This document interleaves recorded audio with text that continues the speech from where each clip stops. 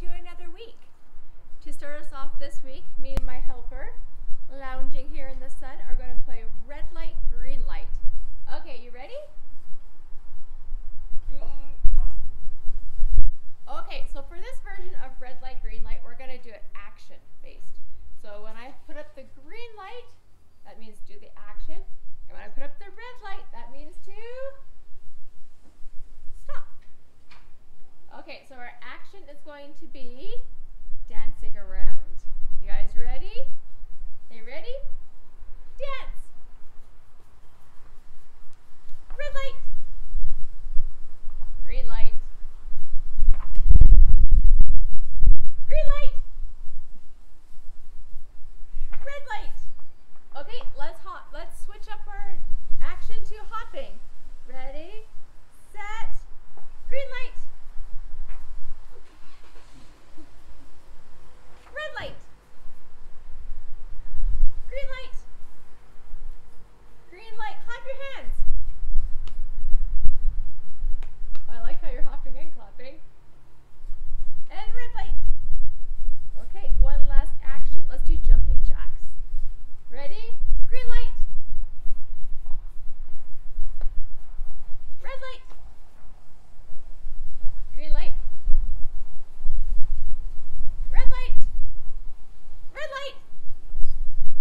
Oh, I can't trick you. Green light.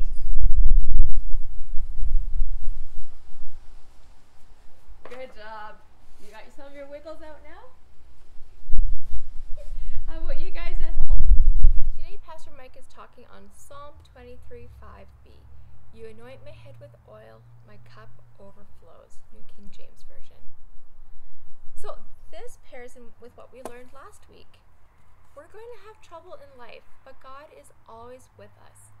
God wants what is best for us. But sometimes that best comes with the difficulty that we can learn from. Whether it's how to trust or how to have more faith or the knowledge that God is always there. Our story today is about a man named Job. Job was a man who loved God with his whole heart. Job had seven sons and three daughters. And along with his family, Job had 7,000 sheep, 500 donkeys, 500 yoke of oxen, and 3,000 camels. Job had a lot. Well, one day, Satan was talking to God. And remember, Satan does not want what does not want what is best for us. Satan hates God and he hates people. And he told God the only reason Job loved God with his whole heart was because nothing ever bad happened to Job. Job had everything. And so, of course, why wouldn't Job love God? And so, God gave permission to Satan to take away Job's possessions.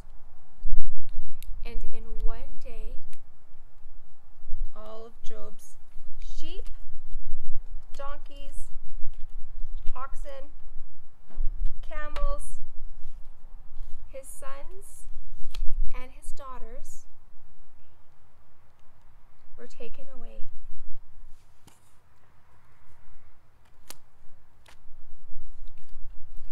Job lost everything. His sons and daughters died, a lot of his animals died, or got taken away, and he had lots and lots of help to help him. And most of them were all gone as way, gone as well. And you know what? Job was devastated. He was so sad, so distraught when he heard the news. But you know what? He didn't get mad at God. Job decided to continue to love and worship God even though everything was gone. Well, later on, Satan went back to God and he said that, well, that's just, Job isn't going to love you if you take away his health. And so God let Satan hurt Job, but he couldn't kill him. And Job was covered in red sores all over his body. And he was in so much Job's friends and his wife all told him to give up on God and to get angry and to stop loving God. But you know what? But even though Job was covered in so many sores and in so much pain, Job, he still loved and trusted God. He questioned God. He asked God, why is all of this happening? He didn't understand. But you know what? Job chose to believe that God had a plan because Job believed how could he praise God for the good stuff and be thankful for that when God can choose to give and to take away?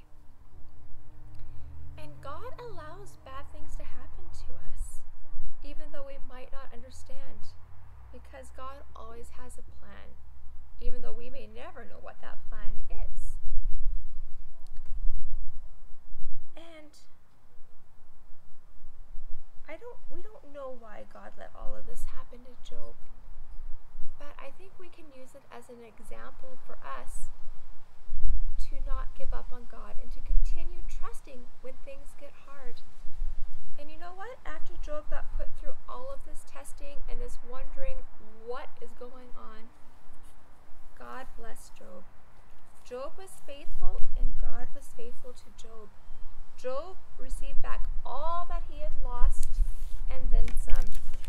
He had more children, sons and daughters, and he had double the amount of sheep that he had before, double the amount of donkeys, camels, and yoke of oxen.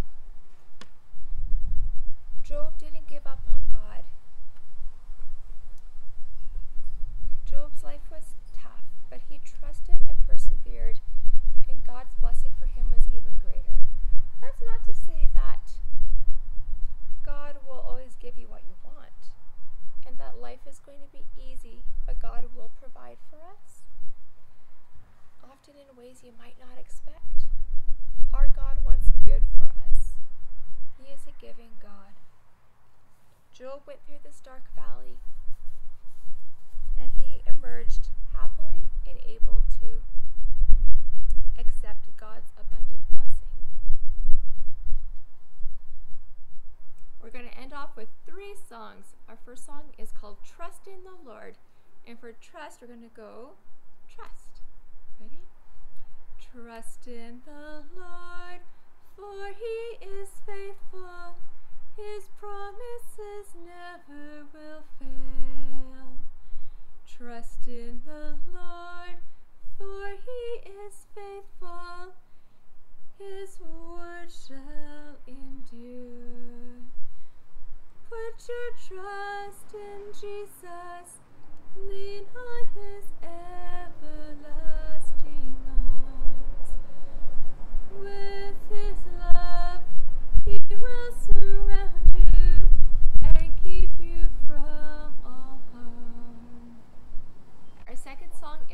What a Mighty God We Serve. What a mighty God we serve. What a mighty God we serve. Let angels bow before him, heaven and earth adore him. What a mighty God we serve. What a mighty God we serve. What mighty God we serve. Let angels bow before him, heaven and earth adore him. What a mighty God we serve. And our last song is My God is So Big. Ready? My God is so big, so strong and so mighty. There's nothing my God cannot do for you. My God is so big, so strong, and so mighty. There's nothing my God cannot do for you. The mountains are His, the rivers are His, the stars are His handiwork too.